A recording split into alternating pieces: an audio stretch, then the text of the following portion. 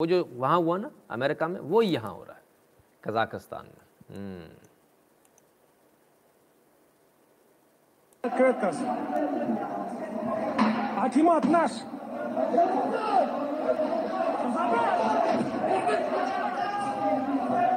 É tudo direita essa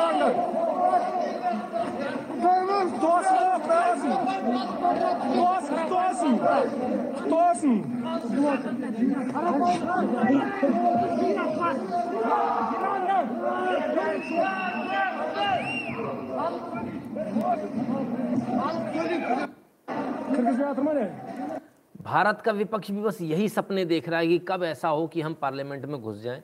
Modi को ऐसे तो नहीं हटा पा रहे तो ऐसे जीत जाएँ।